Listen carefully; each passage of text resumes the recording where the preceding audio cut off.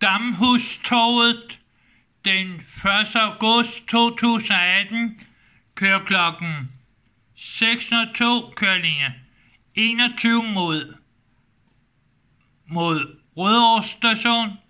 Kl. 603 kører linje 6 mod Budinger station.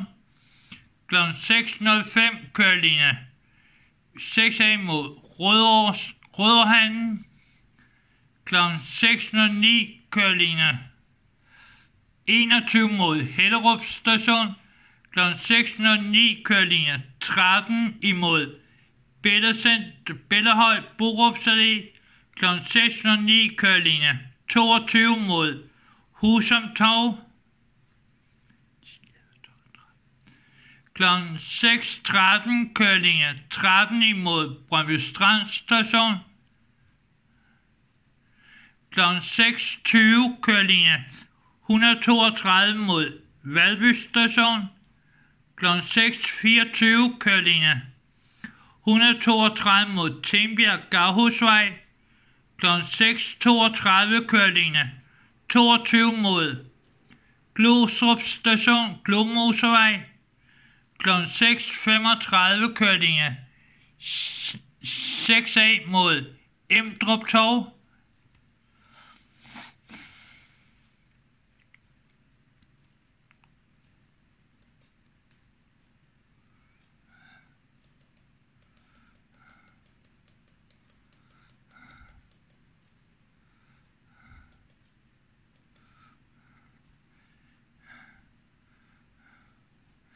Klokken 18.24 kører linje 13 imod Brøndbøser station, Nygårdsplads.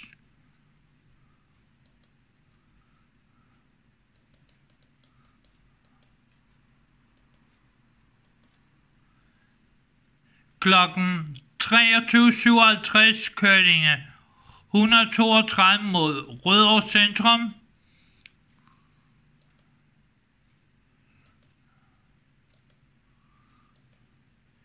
Klokken 023 Kørlinge 3, 22 mod Brøndbøser station.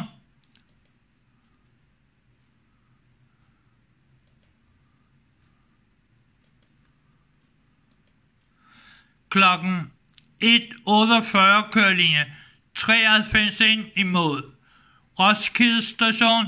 Klokken 1.58 Kørlinge 93 ind imod Rådhuspladsen.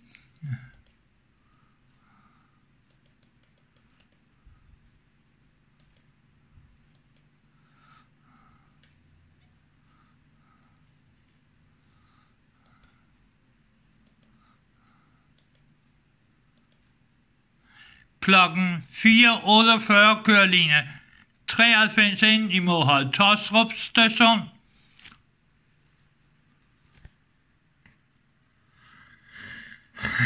Mm-hmm.